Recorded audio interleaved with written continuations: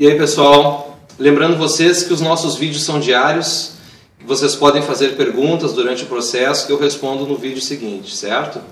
Hoje eu vou responder a dúvida do Jerônimo Aragão.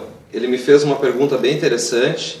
Ele quer saber se essa madeirinha que a gente vai colar aqui, se ela pode interferir no som do violão. Ele fez a pergunta uh, dizendo assim, ó, se a colagem pode criar pontos de tensão que atrapalham a vibração do instrumento.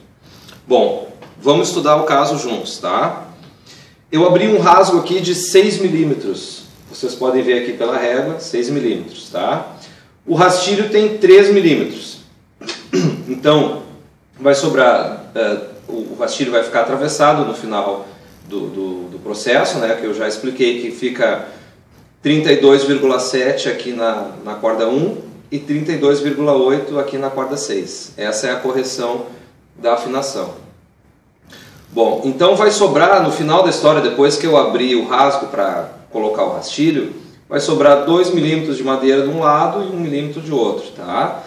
Mesmo assim, eu tomo cuidado de usar a mesma madeira, jacarandá baiano, e a colagem tem que ser exata, para não ter espaço de cola, para não ter sobra de cola, né? para não ter espaço em branco ali, para que não perca a vibração. E se eu usasse uma madeira mais macia, isso também poderia atrapalhar. Bom, mas o encaixe do rastilho aqui no lugar, esse que é o detalhe mais importante, ele tem que ser exato. Eu vou mostrar para vocês como é que é o encaixe do capotraste lá na outra extremidade, para vocês terem uma ideia.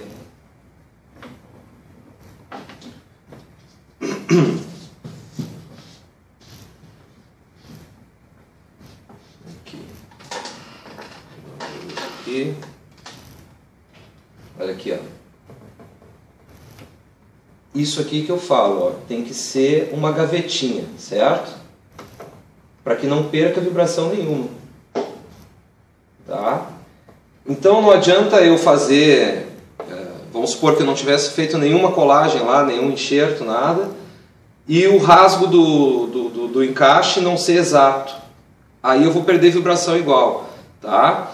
Bom, se cola fosse problema, o problema já começaria que o cavalete é colado no tampo, né? Uh, a cola que eu vou usar para fazer esse enxerto é essa cola aqui, tá? Nós tínhamos a melhor cola do mundo aqui para madeira aqui no Brasil, que era a Cascores, de madeira, aquela do tubinho quadradinho, e ela mudou de fórmula. O que, que eu vou fazer, né? Tem que usar essa cola aqui que todos os luthiers do mundo usam, tá? É uma cola muito boa, e se a colagem for boa, vai ficar só um filmezinho de cola, não vai ter cola atrapalhando o som. Bom, a teoria é muito bonita, né? Muito linda, mas a gente vai ver no final, na prática, o que, que vai acontecer, certo? Agora o próximo passo eu vou mostrar para vocês como é que eu corto as, a, as pontinhas disso aqui para ficar exato do tamanho do rastilho para não ficar sobra nenhum, tá bom? Bom pessoal, esse aqui é o equipamento que eu uso para desgastar a pontinha da madeira. Olha aqui como é que ele é feito, ó. Tá? Tem um rasgo aqui que corre nessa guia aqui.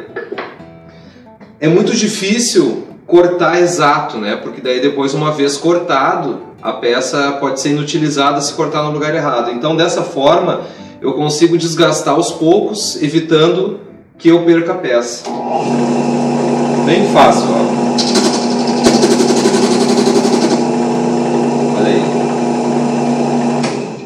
Fica perfeitinha a peça.